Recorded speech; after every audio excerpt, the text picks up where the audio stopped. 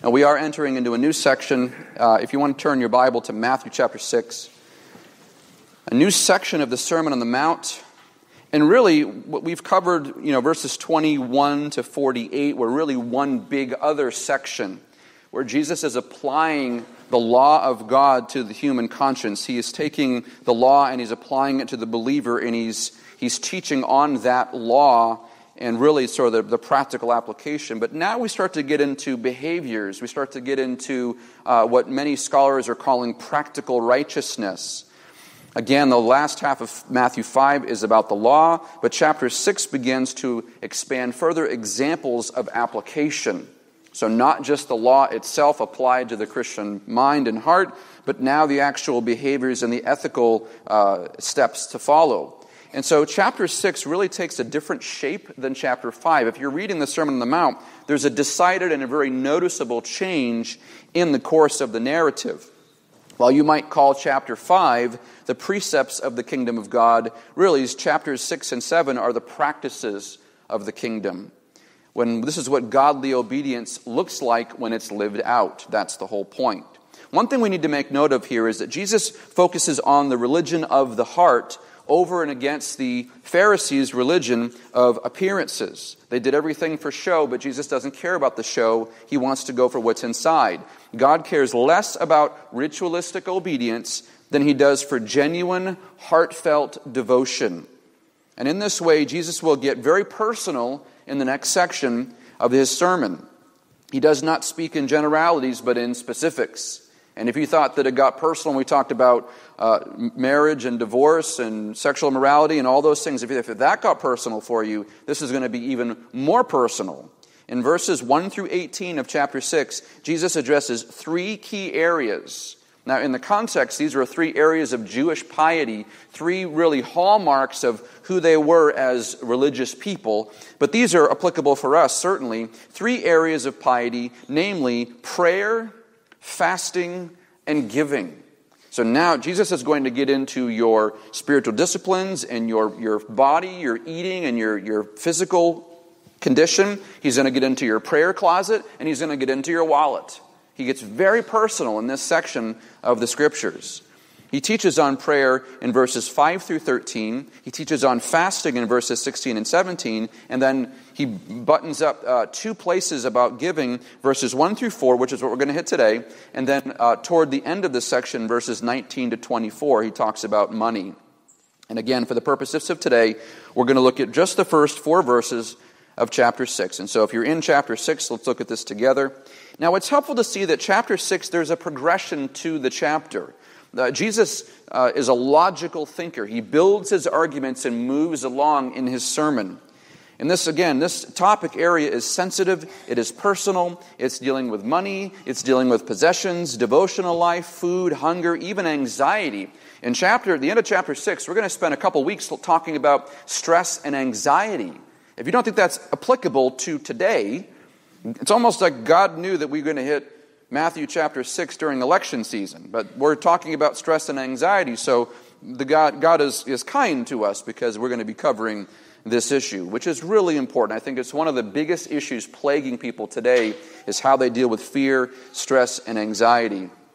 But again, verses 1 through 18, this is sort of a unit, and verse 1 really begins as a theme verse. A theme verse. Uh, let's look at this together. Matthew 6 1 Matthew 6 1, Jesus says, Beware of practicing your righteousness before men to be noticed by them, otherwise, you have no reward with your Father who is in heaven. Again, this is really the theme verse. This is the summary verse of the next three examples. When he talks about, uh, about giving, he talks about prayer, he talks about fasting. This is the overarching theme verse of all of this teaching. Jesus cautions the listener to beware beware. Prosecho in the Greek, it means to take care, to be on guard, to watch out for. Depending on what translation of the Bible you use, some might say uh, take care, watch out, be on guard. He wants them to be paying attention to these actions, to what's coming next. He says, Beware of practicing your righteousness before men. What does he mean by practicing your righteousness? Well, when we read the Apostle Paul, We note that almost uniformly, Paul is dealing with righteousness in the context of being an alien righteousness, a righteousness that does not belong to us. We know that because of the fall and because of human depravity that there's nothing inherently righteous inside of us. I can't go to God and claim that I'm some kind of virtuous or righteous person in and of myself. Any righteousness that we have as believers comes to us through Christ. By Christ, He gives us of His righteousness in order to justify us. That's what we, we've talked about that before. And so this righteousness of Christ is credited to us by faith. This is called imputed righteousness. Again, we don't possess anything inherent uh, that is uh, germane in us that is inherently good. Any righteousness I have is given to me by Christ. But that is not what Jesus has in mind here. He's not talking about practicing your imputed righteousness.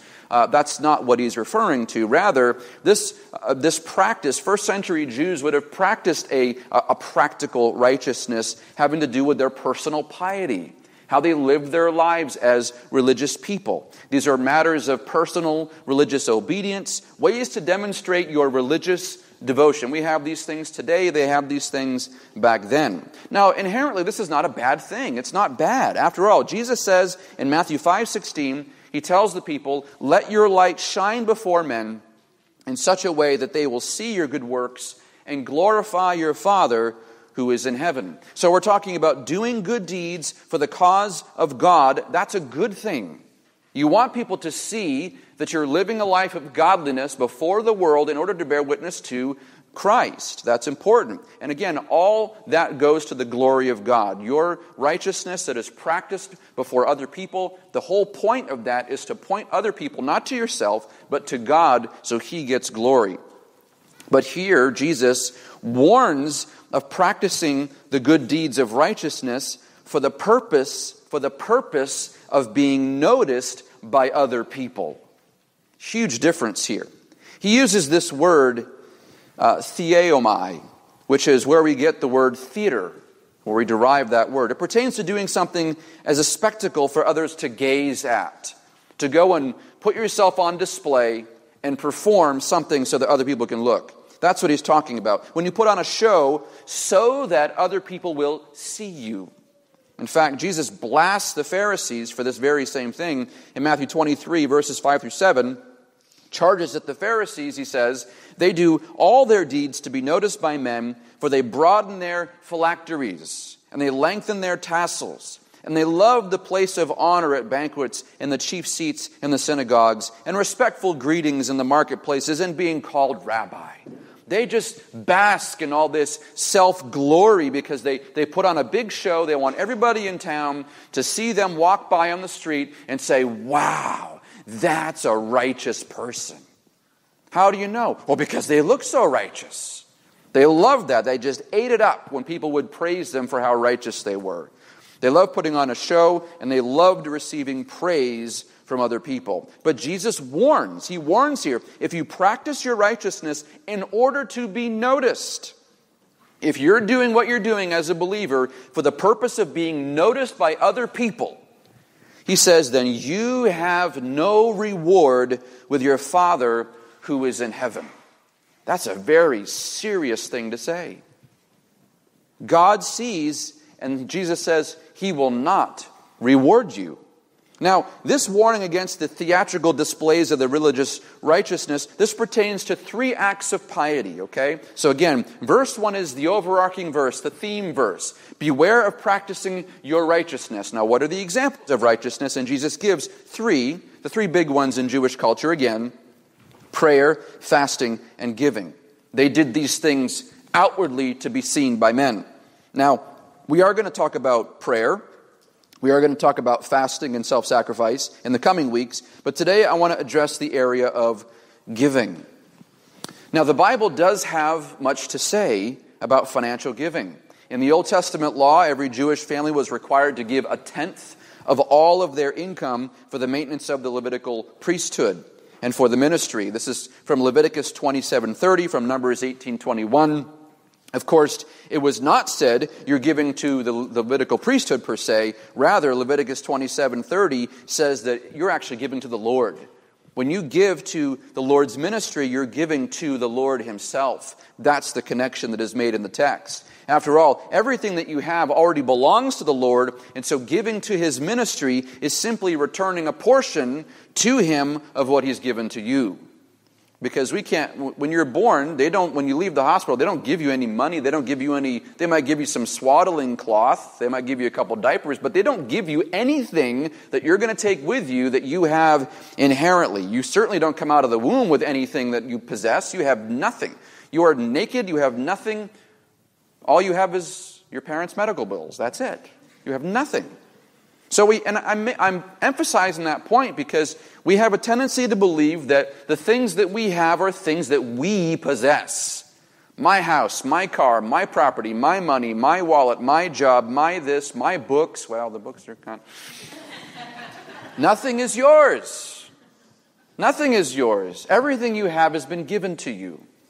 Everything. Your family, your spouse, your children, your relationships, Everything is a gift of God. Now, going back regarding the Old Testament, again, 10% went to the Levitical priesthood, but there's, there's more than 10%, actually. If you, if you study it out and look at the numbers, there was a second tithe that was given for the Lord's feast in Jerusalem, and then every third year, okay, they would take that tithe every third year, that tithe was used for benevolence for the poor. So scholars estimate, and I've read this in many places, scholars estimate that if you look at all the number of, of tithes and offerings and everything that existed in Israel, uh, the giving was somewhere between 22 and 25 percent annually. Keeping in mind, however, that Israel was a theocracy, for lack of a better word, so the religious and the civil government were commingled. So when you gave to the ministry, you were giving to uh, the temple, you're giving to the worship, you're giving to the, uh, to the maintenance of government, you're giving to the court, you're giving to everything. So functioning society was paid for by the people of God, and they gave of their money. And so Old Testament giving equated both to paying your taxes and giving to, finan- uh, giving to gospel or the Lord's ministry. Now, by the time you get to the New Testament, there is no such command to tithe. We've covered this before, uh, but I'll cover it again. Uh, is it because God no longer employs the use of money in the ministry? Of course not. Of course He does. Money is still needed. But the, the principle is applied differently. It is no longer a hard and fast number. It's not 10%, it's not 20%, it's not 25%. And I've heard all kinds of sermons to the contrary, New Testament sermons to the contrary, that misunderstand and misrepresent the plain teaching of Scripture. There is no number that is to be fastened to you when it comes to your financial giving. Instead, the Lord grants liberality. He grants you liberty to determine what you are to give.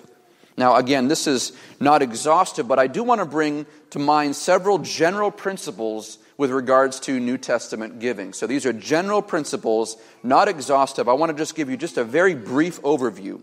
Just a few things. Number one, number one, giving is a spiritual discipline. Giving is a spiritual discipline. In the New Testament, there are a plethora of verses that, that deal with financial giving within the realm of the spiritual. So it's not simply a nuts and bolts, pen and paper kind of a thing. Everything is connected to spirituality when it comes to giving in the New Testament. Just a couple of examples in Luke 16:10 connects giving to faithfulness. Giving to faithfulness in verse time, uh, verse nine, he talks about using your money to make spiritual gains, and then Jesus says, "He who is faithful in very little will be faithful also in much." And so, giving here by Jesus is tied to faithfulness. 2 Corinthians 9:13 I believe we heard that this morning. Paul says that giving to gospel ministry is an obedience to your confession of the gospel of Christ. Giving to gospel ministry is part of your obedience to the confession that you bear. You say you're a Christian, there are certain obediences that pour out of that confession. Again, if you believe in the ministry of the gospel, you ought to be faithful in giving to the ministry of the gospel.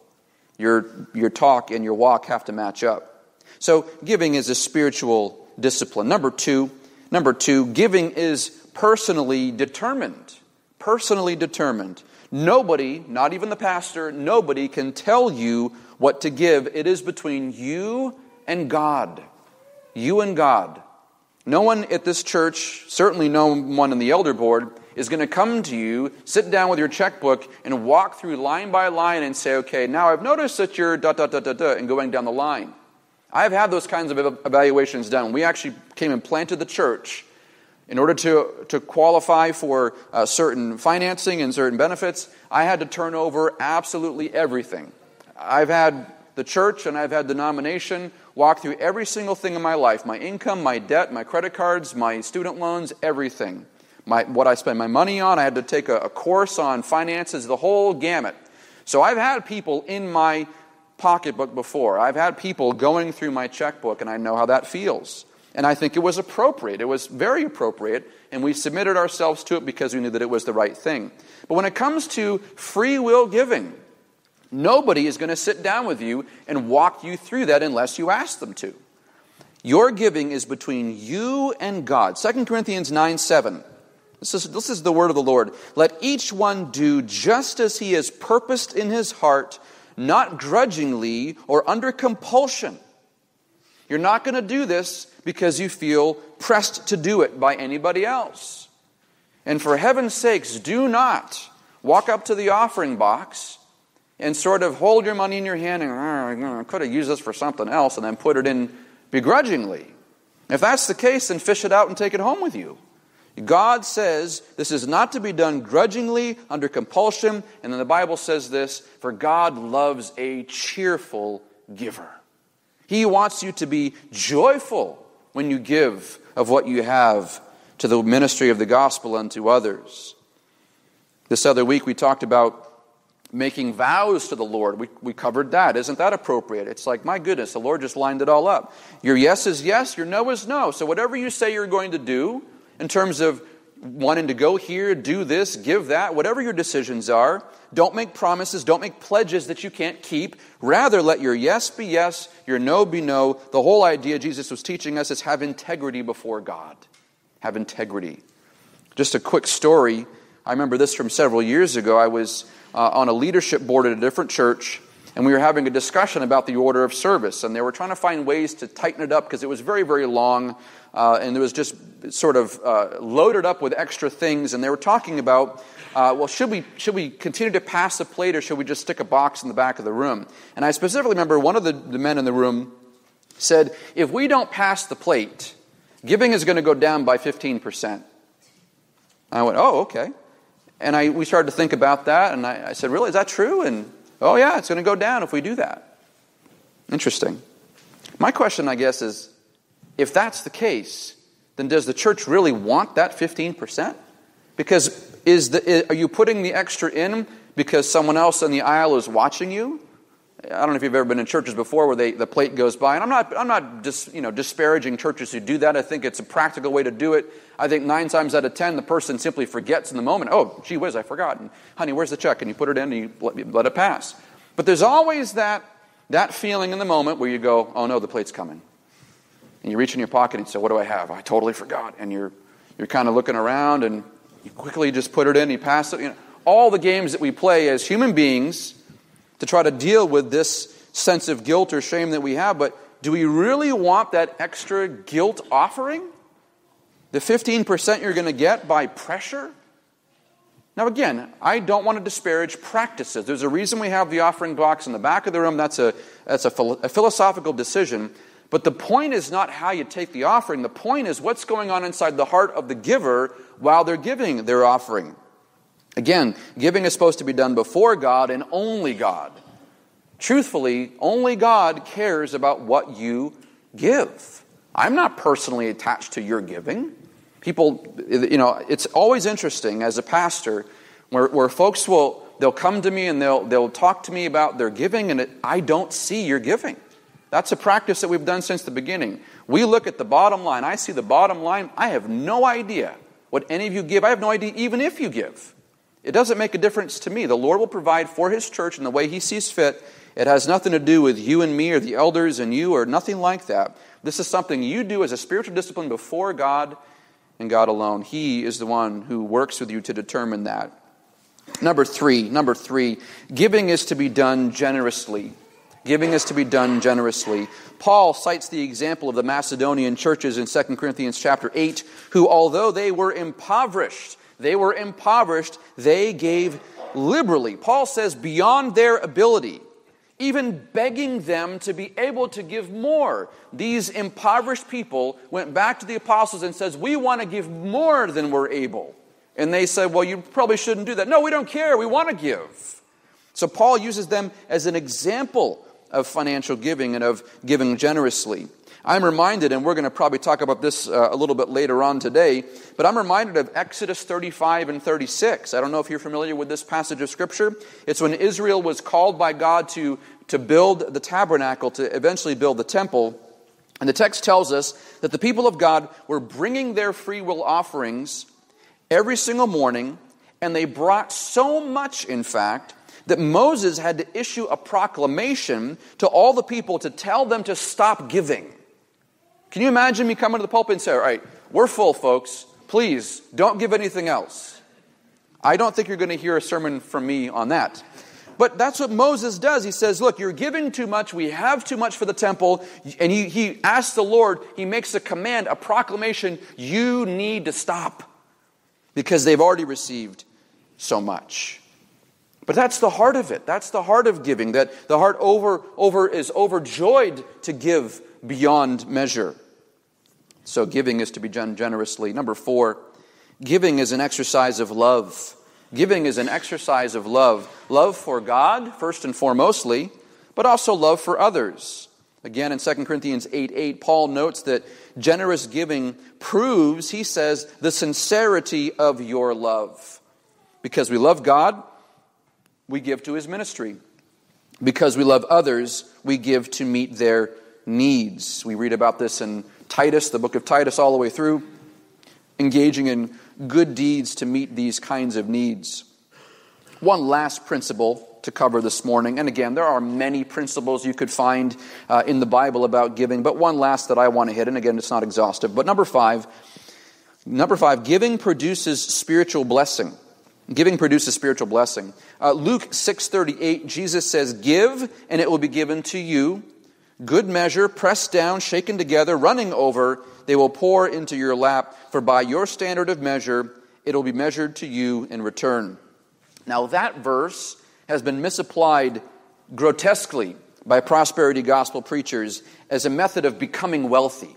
If you, and I've talked about this a couple weeks ago, you know, if you, they would say that if you want to go and become a millionaire, then you have to give a certain number and you can mathematically, you know, sort of guilt God into uh, giving you more money and so on and so forth. But that's not the Lord's meaning. He's not giving you a prescription for how you are to become wealthy. That's not the point. The principle is that if you're stingy to give, then you will not receive back very much. But if you give generously, the Lord will bless you richly. Again, 2 Corinthians 9 8, for God is able to bless you abundantly. Now, if the blessing you receive is determined by God, you don't know what that blessing is going to be. No one knows what that's going to be. I can't tell you, I can't promise you. If you give X, then you're going to get Y, Z. I can't do that.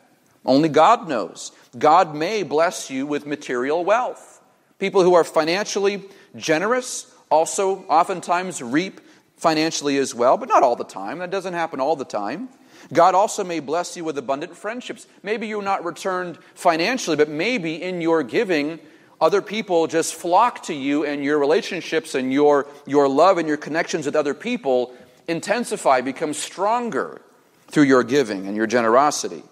But God also may bless you with great joy because you may give generously and not receive anything in return. You may give generously and no one ever finds out or knows and gets drawn to you. You might, you might be living your life alone on some regard.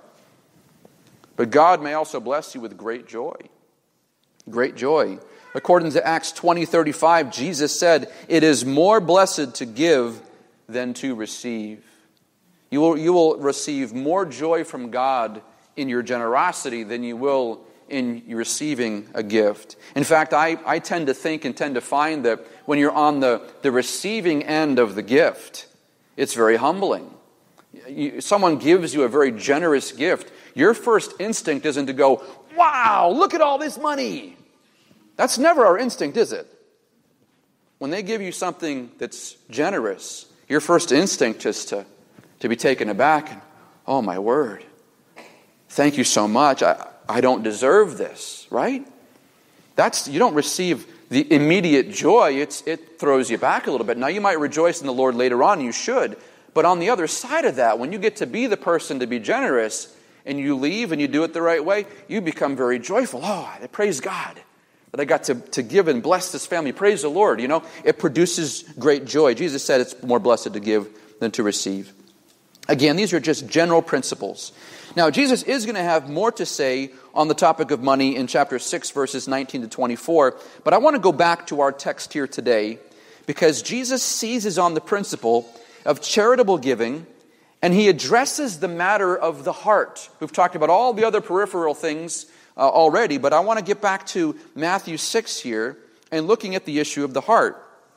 Jesus says, verse 2 So when you give to the poor, do not sound a trumpet before you, as the hypocrites do in the synagogues and in the streets, so that they may be honored by men. Truly I say to you, they have their reward in full. Notice that Jesus doesn't say, if you give. Rather, he says, when you give to the poor. Again, this is an Old Testament command Deuteronomy 14, Exodus 23, uh, Leviticus 23. This is also an expectation in the New Testament. If you read the epistle written by James, chapters 1 and 2 talk specifically about uh, caring for widows and orphans and taking care of the poor. And so there's a, there's a mandate on the Christian church uh, to, to deal with matters of benevolence. Uh, our church has benevolence. Uh, many of you I know have given to other, other folks. Um, there's even a, a, a, campaign on, online right now. There's a family that we're praying for, and they're fundraising money. And praise God, in the first day, we've already raised $10,000 for this family, and it, who's at Dartmouth right now. We'll talk about them during prayer. Um, but the Lord loves to, to bless people and take care of people through the, the generosity of the church. Paul exhorts believers on Crete uh, Titus 3:14 to engage in good deeds to meet pressing needs. You see a need that's pressing, you, you got to do everything you can to meet it. Again, if you can, if you can't, well that's up to the Lord, but if you can meet the need, the Bible says try to meet that need. That's part of who we are as believers. Because God has extended mercy to us, we are to extend mercy to other people. But Jesus says here, when you give to the poor, do not sound a trumpet before you as the hypocrites do.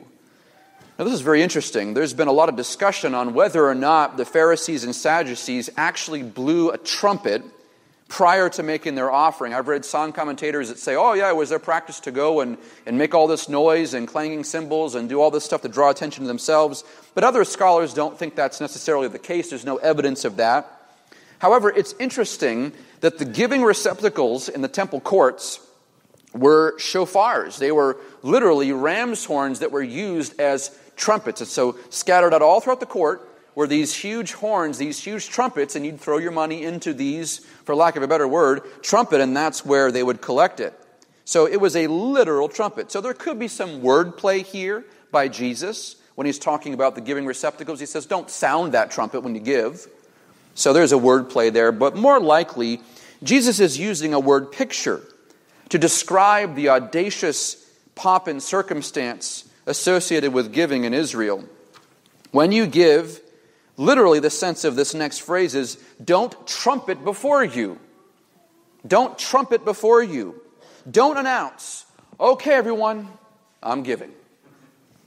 And it's going to be a lot, so brace yourself, right? Now, nobody would ever say that, but isn't that in our sinful hearts what we might be thinking in the moment? He says that's what the hypocrites do. That's what they do all the time. They get themselves, they get right that check, and then, here we go. They get all ready to go. It's in their heart. Hypocrites is the Greek word. It refers to actors in plays who portrayed someone on stage that they're not in real life. So this Greek word for hypocrite is literally actor. I'm not going to make a social commentary about Hollywood right now, but there's something to this. You're, you're portraying something to other people that you're not really who that person is in real life. You're playing a part, you're playing a role. That's the essence of hypocrisy. That you're portraying something or someone that you actually aren't on the inside. Jesus used this term of the Pharisees seven times in Matthew 23 alone. Because he knew, he knew inside their hearts that they were not who they portrayed themselves to be. Outwardly, they appeared to be devout, religious, generous, wise. They were leaders. They were the most righteous people in Israel. But he knows that inwardly they were ravenous wolves. They were pompous, prideful, self serving, greedy snakes. He actually accuses them because they were guilty of it. He says, You rob widows' houses. When a wealthy woman loses her husband, when he dies, and she gets all the money and has to take care of herself, as soon you read the paper, he tells them, and as soon as a widow loses her husband, you go to their house and you say, Oh, dear sister, let, let me help you manage this, this affair. And they say, Oh, of course, Rabbi, yes, please help me. And they just rake her over the coals and they bleed her dry until she's dead. They were doing this, and Jesus caught on and he, he told them, You rob widows' houses. It's atrocious. But here, Jesus says to the people, Don't be like the hypocrites who sound a trumpet when they give in the synagogues and in the streets. Those are the two very public places in the synagogue, in the streets. Don't put on a show. Don't sound a trumpet. And then he gives them a motive for their behavior. He says, they do this so that they will be honored by men. The word honored here is doxazo. Dox is the word for glory. So literally, Jesus says that the goal of such people to give in this way is so that they will receive glory from other people. They do this for their own glory, not to give it to God, but to get it from people. And that's why it's wrong to give in this way. Don't give anything for the purpose of being noticed. When you give, beloved, don't do it so that anybody else will notice. Jesus says, Truly, I say to you, they have their reward in full. The word here that's used in the Greek refers to a received payment. A received payment. In other words, if you give so that you'll be noticed by others, Jesus says that you will receive some sort of reward, but the sum total of what you actually receive and what is paid to you in full is whatever is said to you in the moment. So you will receive something if you do that, but it's going to it's going to begin and end right then and there with whatever you get for glory right here in the moment on earth. That's the end of it. There's no eternal grander thing by God you have received your full reward. I, I oftentimes notice this. Since becoming a pastor, it's, uh, I've observed a weird phenomenon. I, I, think it's something that people do that they don't realize that they're doing, uh, but I'm on to you, so don't. It happens all the time, and here's how it goes. And again, I think it's, I think it's done with the best of intentions, but I, I just want to illustrate to you. Someone comes to me and they say, Pastor, did you hear about so and so? Yeah, they're really struggling and they could really use some prayer. And I say, Oh, absolutely, of course. And then they proceed. You know, I was over there the other day. And I think to myself, Oh no. It looked like they could use some grocery money. I'm thinking, Don't do it. Don't do it. So, you know, I, I gave him $50, and then I'm thinking, Ah, you just lost it. Everything, and then they keep on talking. Everything that you're going to receive for that generosity, you just got it right now. And it, we do it all the time because we have a propensity to seek glory for ourselves. So, my goodness, don't tell me, for your sake and for mine, don't tell me when you give to other people. Now, I'm, I'm sure you're logging in your mind. Did I ever do that? I, it doesn't matter. I've forgotten. You've forgotten. It doesn't matter. Okay? You get, you, get a, you get a mulligan for this one. If you really feel bad, then please repent and take it up with God. But I'm just saying that we as a people have a propensity to do this. It's a weird thing we do. And even if you tell yourself, I'm not going to tell anybody, I'm not going to do the wrong thing, and then you get into a conversation and it comes out and you're like, oh, I did it again. Again, but the Bible says that if you do that, you've just received your reward in full. Whatever you get in the moment, that's going to be it. Do you ever wonder why you feel crummy when you give to others? Does it ever happen to you when you feel you just don't feel like it was that great? Well, I would argue that's because your motive might be wrong. Your motive is wrong. Because when you give to receive praise, and then you don't get it, when they don't fall all over you with gratitude and gush over you, you feel cheated. You feel cheated. I actually had a person come to me one time. They had gone to someone and they'd give them something, and the person didn't respond in the way that they thought that they should.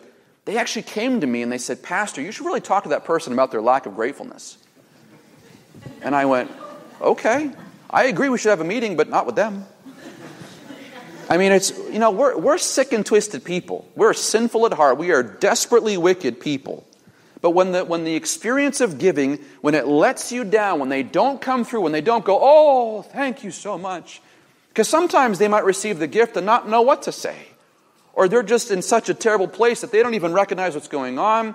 Maybe they just don't respond the way you thought. Maybe they got screaming kids in the back and they're distracted as you come in the door. Who knows? But the bottom line is that if you're doing it to get something from them and they don't deliver, you're going to become bitter. You're going to become angry because the, the word that you receive on earth from them was not all that you hoped and dreamed it was going to be. Jesus says, don't do that. Don't give in order to be seen by men. There's another way that we hijack our own giving.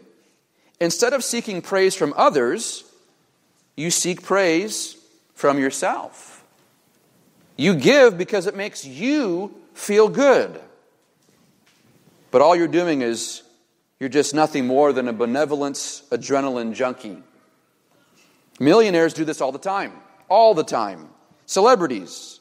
Here's how it goes. This is, I've seen, you've seen this a million times, I guarantee it. Celebrities, they come into a whole bunch of money, they become famous, and they spend the early part of their life blowing all of it on partying and loose living and whatever. And then at a certain point in their life, they kind of sober of all that and they realize that that's not, not all there is. And so what do they do? They engage then in charity because they want to feel good. And you watch TV shows about millionaires who kind of stoop down and give to other, other people. And at the end of the show, they always have the wrap up and they say, Well, you know, I want to do this because it makes me feel good to bless other people. It's all about them. It's all about them. They give because it makes themselves feel good. Look at verse 3. Verse 3 But when you give to the poor, do not let your left hand know what your right hand is doing. Now, this might seem a bit odd because you're thinking to yourself, okay, now biologically, physiologically, your brain controls the actions of both your left and your right hand, so how can you do that? How can you give with one hand and your other hand doesn't know what's going on. Your brain doesn't know what's going on. Is that possible to be out of sync and be. Well, no, Jesus is talking about something else. He's speaking in hyperbole here. The sentiment has to do with secrecy and with discretion with regards to giving. Not only should you not trumpet your giving to other people, but you shouldn't even let your left hand know what your right hand is doing in your giving. Well, how do you do that? How do I obey this verse? How do I give in such a way that my left hand over here does not know what my right hand is doing? Give quietly and forget quickly. Give quietly and forget quickly. In other words, don't let your mind dwell on the action. If you give, give, and then back away, go about your business, and try to forget that you ever did it. Now, I've seen people do this before. And when I say I've seen people, I've thanked a person for a gift, and they have forgotten, and I have to remind them why I'm thanking them. And that's, that's, a, that's a good thing. Thank you very much for your generous gift. And they look at me for a second, and it's, it's genuine, by the way. And they look at, what? Oh, you, you gave me that? Oh, yeah, yeah, yeah, absolutely, sure, no problem. They have forgotten. They've literally forgotten what they did. That's a blessed thing. That's a blessed thing. That's, that's an example of not letting your left hand know what your right hand is doing. As soon as the gift leaves your hand, let it also leave your memory. Why? Why? Because, you know, I'm, I'm putting myself out there. I want to obey the Lord. I want to give. Why? Verse 4. Why should we do all these things? So that your giving will be in secret. And here is here's the payoff. And your Father who sees what is done in secret will reward you. Oh, this is good. Two outcomes here. Number one, you want to do this because you want for the purpose of secrecy. So you don't blow the trumpet, you don't praise yourself, you do it in secret, you do it quietly because you want it to be secret. So uh, this comes in a couple of different ways. Maybe you make your gift anonymously. That way, literally, nobody but God knows. People give anonymously all the time. They, they put money, they give money in the box, they, put, they give money to someone, they drop off something uh, at their house, or they, they drive a gift to their house and they just drop it off. They don't put a, a name or anything, they leave. And, and literally, nobody in the world knows who gave except God. That's one way to do it. But the other way to do it, I think, which is fair, is to make the gift understated. Understated. Because sometimes anonymous doesn't always work out the way that it needs to work out. Let me give you an example. Instead of saying, okay, here you go. I know it's a lot, but you really, uh, I really want to bless you. Don't do that. Rather, instead, when you make your gift understated, here you go. I love you. To God the glory. And you just leave. Just, just under, undersell the gift. Okay? And ultimately, this is about the glory of God. And when you give, especially to other people, my friends, don't bring it up again. This happens. We, we, we hijack ourselves because down the road it becomes like a, like a playing card. Well, you know, there's that time when I uh, don't do that. Don't do it. Let God be the one who sees. Do this in a quiet way, a secretive way, a non theatrical way. But there's a greater reason for this humble discretion. Jesus says, so that, that's a result, so that your Father who sees what is done in secret will reward you. See, oftentimes I think we get worried that if we give, it's going to go unnoticed. It's going to go, especially if it's a big gift that no one's going to see, and somehow that it's going to, it's just going to go out of existence and never be counted. Oh, uh, it's just going to go out into the ether, and I'll never. Oh, and you get worried about what's going to happen to this gift. Now, certainly there's record keeping. I'm not talking about that. I'm talking about what happens to you spiritually. I'm giving all this and no one will ever know. Oh, yes, they will. God sees all. God sees what you're doing. He's watching, He's paying attention, He's keeping record. God knows every cent you've given, God knows every deed you've done, God knows every kind word you've ever spoken. And God knows every secret prayer that you've uttered. When you pray for someone that you care about, and say they'll, they'll, they'll never know. I've heard stories, countless stories, about two believers that come together and meet, and this person gets saved, and they find out that this person was praying for them 10 years before they got saved, and there's this amazing moment of gratitude and love, and, and, but they never told anybody. They just prayed quietly for someone else, and the Lord heard. The Lord hears, He knows everything. God is watching. This is not a passive thing. God is actively engaged in what you do, and He cares about you, what happens to you spiritually. If you give cheerfully, quietly, generously, God will see, and Jesus says that the, our Father in heaven will reward you. And let me tell you that the rewards that God gives are better than any empty thrill we could obtain here on earth. Any empty praise you're going to get, any pat on the back, any plaque on a wall, anything you could obtain on earth for all of your generosity will pale in comparison to what God will reward you with. However, if you practice your righteousness before men in order to be noticed by them, if that's your motive, Jesus says, You will have no reward with your Father who is in heaven. That, that, needs to be a sobering thing that you hear. If you give, if you're generous, if you practice your righteousness, and this gets applied to prayer and fasting as well, but if you practice your righteousness in order for other people to see how religious you are, you will have no reward for that in heaven.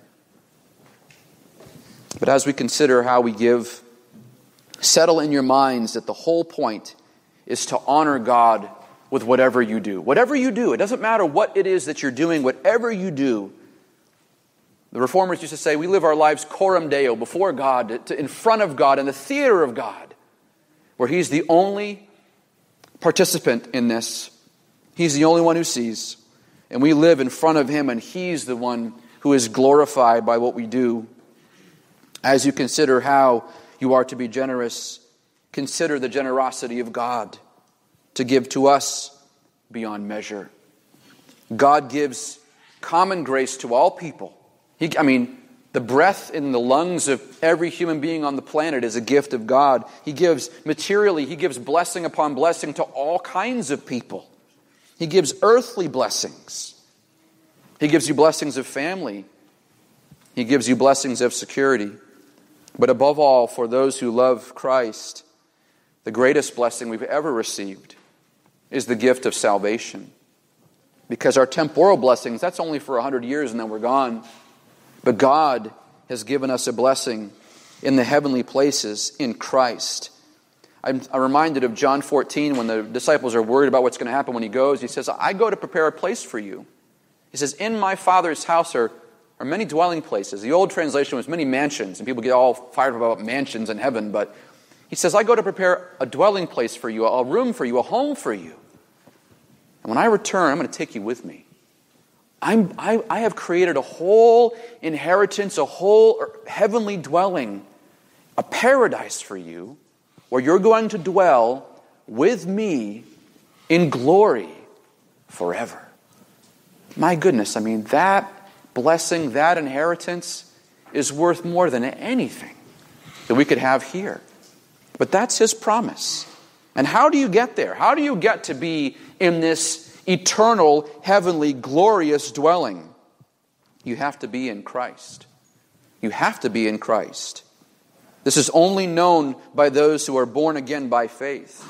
Those who recognize that, you know, those same sins of the Pharisees and Sadducees, the, the selfishness and the deceitfulness and the, the pride seeking, the glory seeking, the sinful heart that I know that I have, God doesn't want any part of that. But if you recognize that you have sinned before God, confess your sins to God. Repent of your sin and trust in Jesus Christ alone. Jesus came to earth, lived on this planet, and went to the cross and paid the penalty of sin. He had all of the collective sins, any sin that I could possibly manufacture in my idol factory of a heart, has been placed on him on the cross. And the Bible says it was taken out of the way, nailed to the cross, and the penalty for that sin is put to death. And so, my, my friends, there is forgiveness for sins there is a new life in Christ, and it's not just about getting saved. It's about belonging to God and being God's and being redeemed by God, and then having an eternal blessing, a dwelling with God forever. The, the ultimate reward of Christianity is not simply forgiveness, even though that's huge. It's restoration, it's reconciliation. You get to be with the God who formed you in the womb but the God who designed your soul and built you, the God who pours out his love and his mercy on you. There's no better place than I can think of to be with a God who is also so generous. We have a gracious, loving, generous, glorious God who's worthy of all of our praise. Let's pray. God, thank you for putting us at the right place at the right time. God, your word is so rich and so full. And, Lord, you know how to work on our hearts in such a precise way. God, I'm thankful for the Sermon on the Mount. I'm thankful for the teaching of Jesus Christ. Not just for the, the glory and the splendor and the wisdom and the power of the teaching, but I'm also thankful for the the way that this teaching chastens us and disciplines us.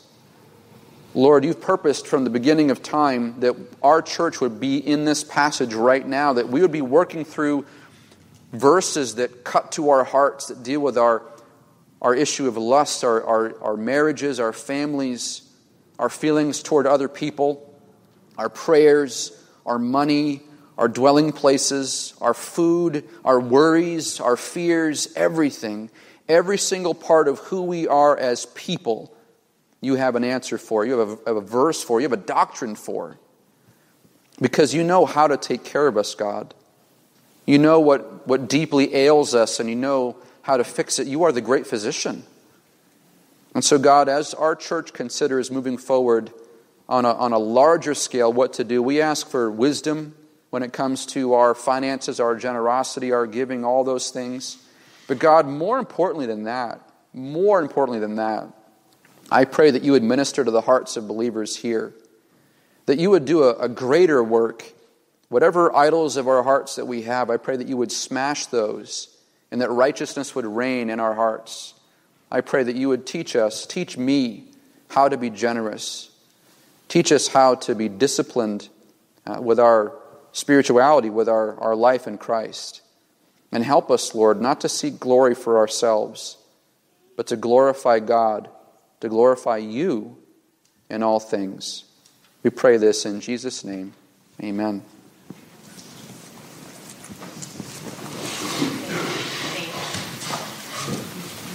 Oh. Yes. I just realized I totally forgot something. Can the elders come up? Colby Hammond is supposed to come into membership today, and I don't want to skip that. That's really important. I apologize, Colby. Come on up. Let me compose my mind here. Sorry. Thank you, Michelle. Michelle just saved that moment here. Come on over. Right here, next to me. Okay. All right, very good. All right, so as we've been working through um, talking about membership, talking about this church growing, the Lord has uh, blessed us to grow us with believers. And uh, I've known Colby since he was a lot smaller. He was in the congregation for my very first sermon, so he's, I've known him for a long time. Uh, but I, we've known his family, I've known his family, but we've gotten to know Colby as a believer. And uh, he's been through our classes, and we've been able to hear his testimony and his love for the Lord, uh, his desire for discipleship, his desire to lead and to teach people and to help people understand the faith. And uh, he articulated to us there's nothing more important to him than helping people grow spiritually. So we're really excited about that, and we're thankful for his testimony of faith. And so uh, we're going to pray for him, and then we would like to welcome him into membership. So we're going to pray for him right now. Heavenly Father, thank you for your goodness. Thank you that you are drawing people to yourself, that you grow the body of believers. Father, we don't determine who are the members of your body, but you do. You know who is Christ's body. So help us, Lord, to continue to identify and to, to bring up and to cherish these people. I thank you, Lord, for Colby and his faithfulness and his, uh, his zeal for the gospel. Uh, Father, we, I can't manufacture that. That comes from you. So thank you uh, for the love that you've put in his heart. And I pray that uh, he would bless this church uh, richly and that we would be a blessing to him. We could shepherd him well. I pray all these things in Jesus' name. Amen.